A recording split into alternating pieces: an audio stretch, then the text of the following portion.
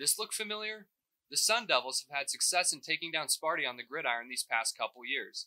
But the football team isn't the only ASU program to find success against Michigan State. Enter the Arizona State men's hockey team. With a 3 1 record against the Spartans in the past three years, they've looked nothing less than dominant against the green and white.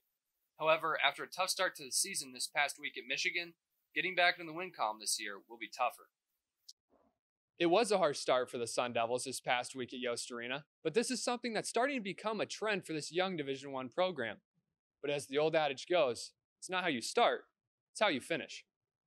In recent years, ASU has struggled out of the gate, but hear me out, Sun Devil fans. There's hope on the horizon. You see, the Devils in their last four seasons have only averaged around a 55% win percentage in their first 10 games of the season all combined. Despite rough starts, they seem to find the winning path not too long after their season starts.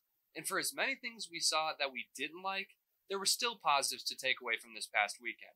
Like freshman goaltender Cole Brady, shining with a stunning 94% save percentage.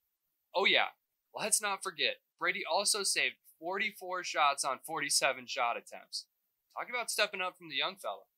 With changes happening worldwide like we've never seen before, we'll have to see if the Sun Devils are resilient enough to battle through a schedule like they've never seen before.